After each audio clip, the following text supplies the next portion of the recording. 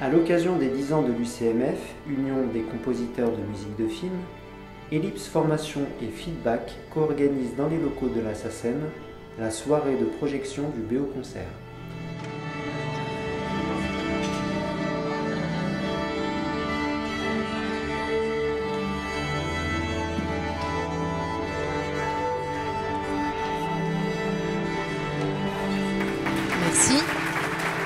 Ellipse Formation, c'est un centre de formation spécialisé dans les domaines euh, du dessin, des arts graphiques, de la musique, etc.